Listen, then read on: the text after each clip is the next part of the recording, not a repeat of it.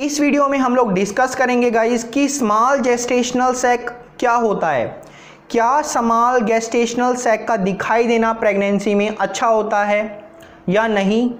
और आखिर small gestational सेक हम कब बोलते हैं कि आपको स्मॉल जेस्टेशनल सेक है? तो इन सभी प्रश्नों का उत्तर मैं आपको इस वीडियो के माध्यम से दूँगा।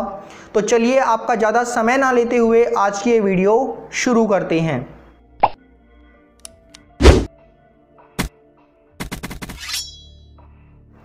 तो गाइज़ देखिए, जब प्रेगनेंसी का अल्ट्रासाउंड किया जाता है तो हमें प्रेगनेंसी की जो पहली झलक दिखाई देती है, उसे जेस्टेशनल सेक कहते हैं।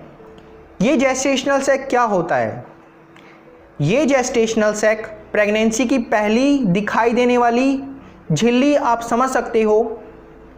मेडिकली इसे एक सैक कहा जाता है, जिसके अंदर एक टाइप का फ्लूड भरा होता है, जिसे एमनियोटिक फ्लूड कहते हैं।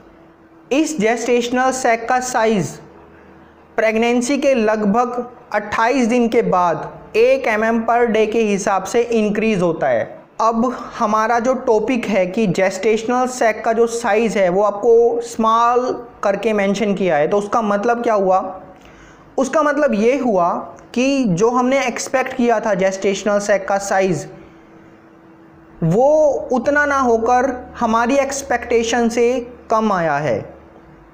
सो so, मान लीजिए जैसा मैंने आपको अभी बताया कि जेस्टेशनल सैक का साइज़ 28 दिन के बाद एक एम mm पर डे के हिसाब से इंक्रीज़ होता है। और मान लीजिए कि आपने छः सप्ताह पर अल्ट्रासाउंड कराया। तो इस हिसाब से आपके गैस्टेशनल सैक का साइज़ 14 एम mm होना चाहिए। अब हम लोगों ने अल्ट्रासाउंड किया, उसमें आपका जेस्टेशनल सैक 2 एम mm आ रहा है।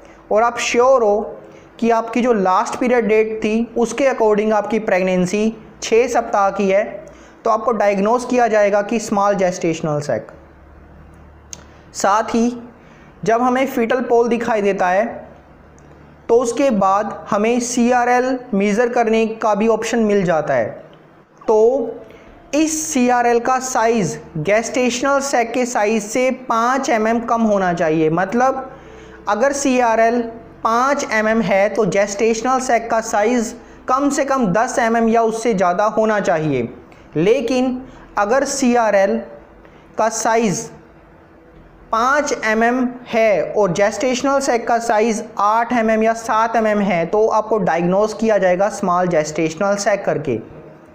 तो आज की वीडियो में बस इतना ही। आपने मुझे इतना समय दिया, उसके लिए आपका बहुत बहुत धन्यवाद।